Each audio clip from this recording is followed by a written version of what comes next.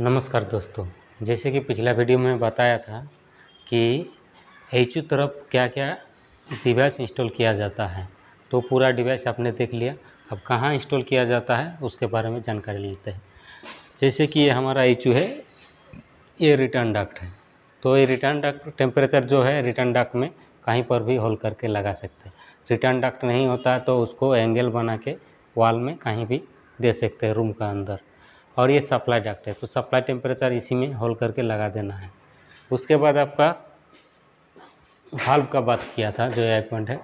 Valve का इसमें six का केबल आएगा। पहले तो मैं बता चुका हूँ। और ए आई पॉइंट फिर कंट्रोल के लिए। ये आउटलेट में भाल्व लगा हुआ रहता है। ये हमारा प्रेशर गेज है, ये थर्मोस्टेट है। चिल्लर पाइप में दोनों में लगा हुआ है इनलेट आउटलेट दोनों में रिटर्न से।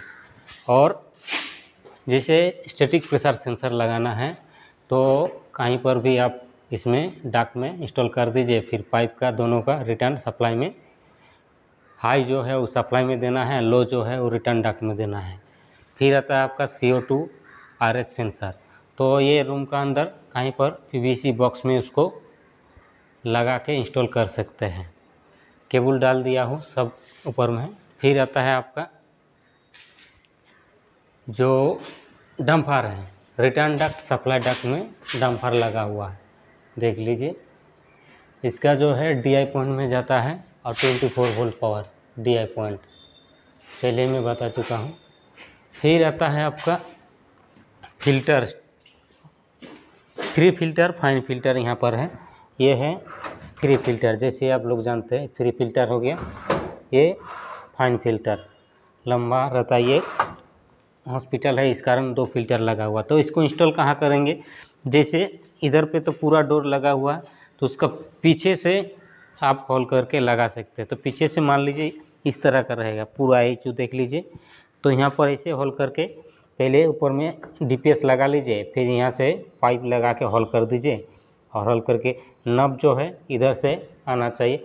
जैसे उधर ऊपर से आ रहा रिटर्न डक तो ऐसे करके नब इधर से आ रहा के डी का स्टेटस बताएगा। दो डीपीएस लगेगा कि दो प्री फ़िल्टर फाइन फ़िल्टर है। फिर डीपीएस और एक लगेगा एयर फ्लो के लिए। जैसे सप्लाई डक में लगाया जाता है, यहाँ पर कहीं पर भी एक एयर फ्लो के लिए डीपीएस और एक लगा देना है।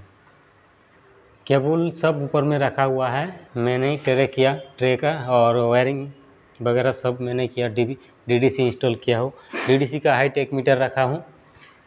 चलिए अब स्टेटर पैनल तरफ़ चलते हैं। जैसे ये स्टेटर पैनल है, इसमें स्टेटर पैनल भी है बी है। दोनों का सप्लाई लिया है बीएमएस द्वारा। और इसका जो मेनू है, उसमें क्या क्या दिया हुआ थोड़ा चेक कर लेते हैं।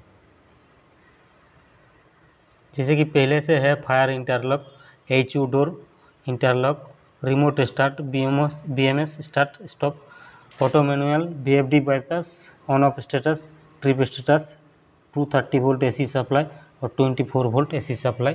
ये ट्रांसफार्मर एक दिया हुआ है इसके लिए 24 फोर वोल्ट एसी सप्लाई लिखा हुआ और 230 का भी एसी सप्लाई दिया हुआ है। इतना पॉइंट दिया हुआ।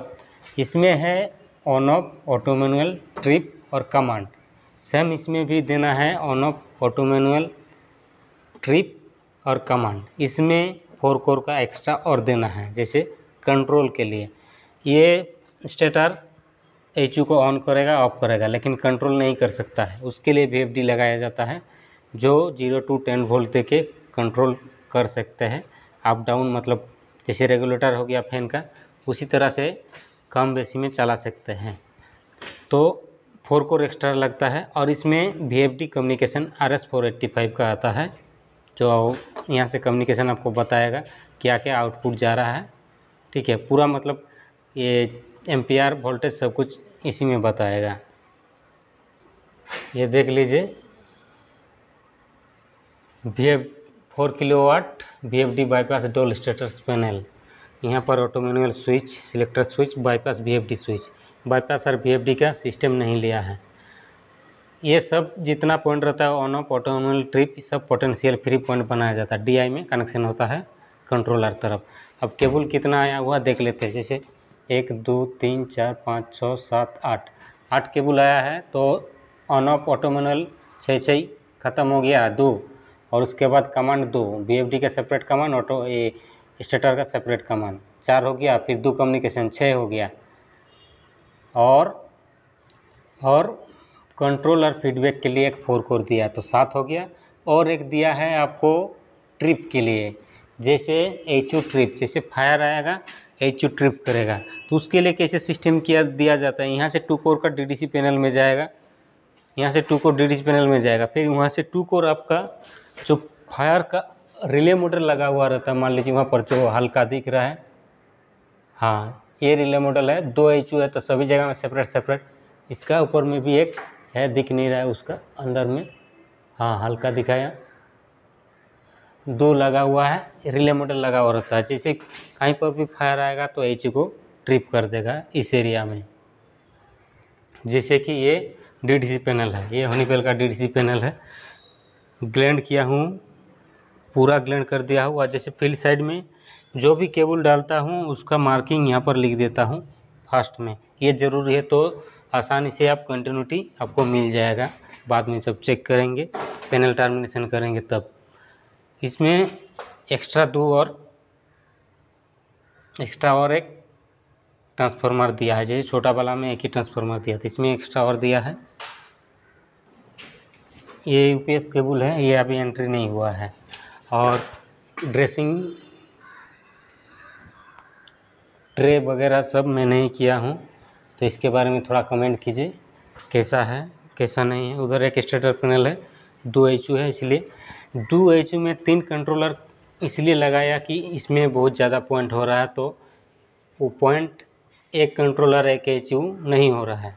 इसलिए एक्स्ट्रा और कंट्रोलर लगाया गया जैसे एक एच है तो वहाँ पर भी पॉइंट ज़्यादा हो रहा है तो वहाँ पर दो कंट्रोलर देना होगा। और मतलब दूसरा रूम पे है, जहाँ पर सिंगल एच है, वहाँ पर दो कंट्रोलर वाला डीडीसी इंस्टॉल किया गया है। बस इतना ही है आज के लिए। धन्यवाद। सब्सक्राइब कीजिए, जुड़े रहिए और भी बीएमएस के बारे में वीडियो बनाते रहूँगा। धन्यवाद।